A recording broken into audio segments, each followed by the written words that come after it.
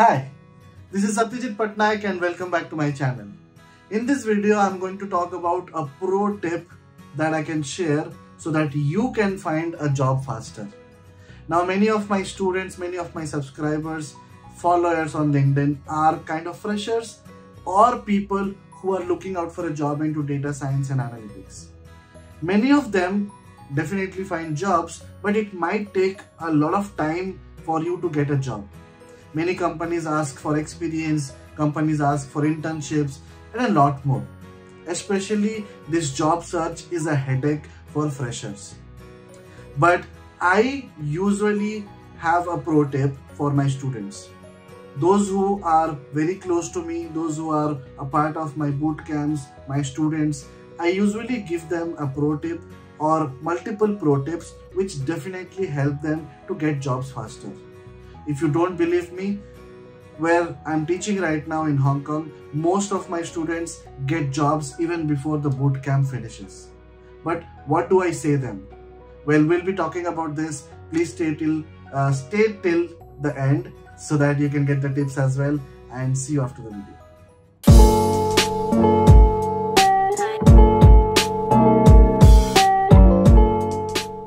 Hi. So I'm not going to I'm not going to tell you some sort of mantra or I'm not going to give you a magical words or something like that which by using that you can get jobs very faster. Now what I'm going to do is I will give you some tips that will be definitely beneficial for you. Now what are these tips? Generally what happens is I'm just talking about the freshers.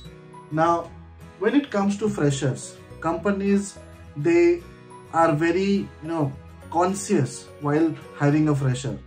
A fresher should have a dedicated number of uh, you know dedicated skills. He should also have some internship experience. And many companies are skeptical about hiring a fresher. And that is the reason why they mostly end up hiring somebody with prior experience. But if every company starts hiring people with prior experience where will the freshers go? Now we are going to use some tips if you use them i can be i can guarantee you tell that you will land up a job faster. Not immediately like overnight but faster. Now the trick here is preparing multiple resumes and using the right keywords to search on different uh, platforms like linkedin naukri Instahyre and all those things. Now in this video i'm dedicatedly talking about people from india. If you're not from india probably these tips might not work 100% but it will be beneficial. Now get started with multiple resumes. What do you mean by that? I will give you examples. For an example you are aiming for data analytics. Now data analytics itself will have two types of two kinds of roles in the market. One company let's say company a and company b now company A might be focusing more on the analytical skills, SQL or some sort of data analytics tool or maybe ETL pipelines and all those things and less focus on the BI part. Now the second type of company which is company B might be focusing more towards Power BI, visualization, report creation, dashboard creation and less on the ETL pipelining part or probably you know analysis part.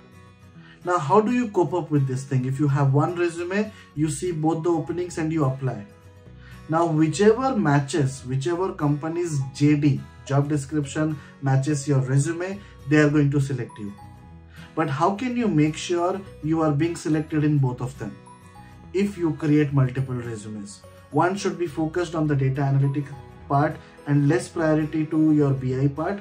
One will be focused mainly on the BI part. You can write down multiple POCs on different dashboards, reports. I have done this KPI, that KPI and all those things and less focus on the ETL pipelining part. And how can you do that? Well, try to create a gen, try to create generally two resumes, like, like just two versions of resumes. In that, keep some of your skills on top other skills as bottom and in the second part the second the bottom skills which are part of your resume one should be at top and other should be at the bottom right?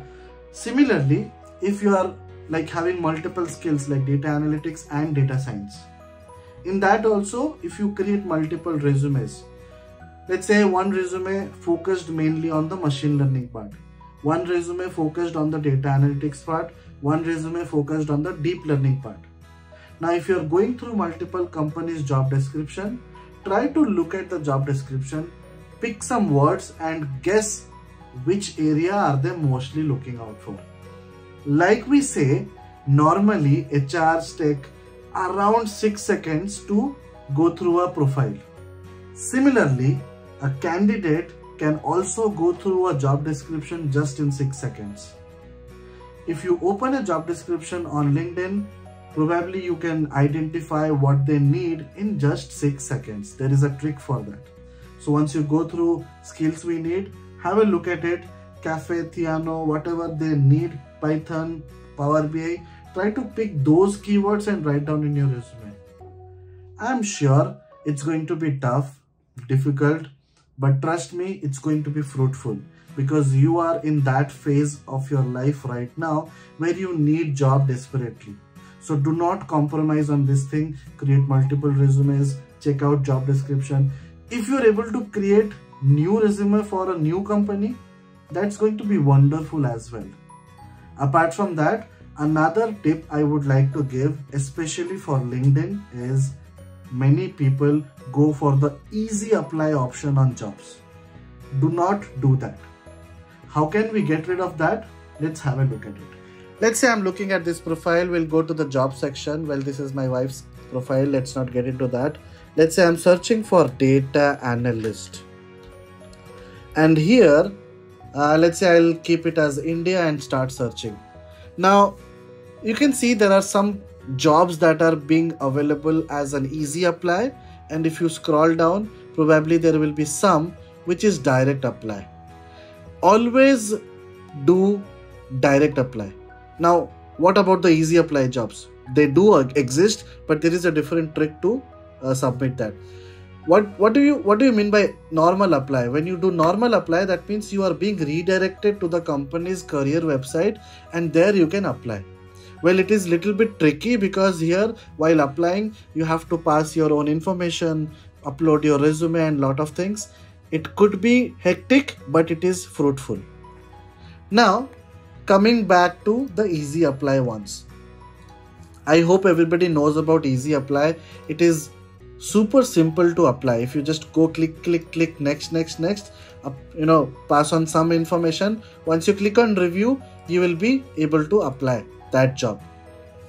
But a better way to apply will be going to that opening, which company has the opening, visiting their website, and then visiting their careers website, careers uh, wherever they have careers. Let's say they do not have careers, which is fine, should be a startup. But let's say most of the companies do have their own career page. If they do have, go ahead and apply in their own careers page. If you don't find it, then come back and apply here. Start doing it. Let me know what you feel in the comment section below. Uh, if you know your chances of getting a you know offer or something like that has increased or probably you started getting calls let me know in the chat box. Sorry let me know in the comment section. That's all about this particular video. See you in the next video. Bye bye thank you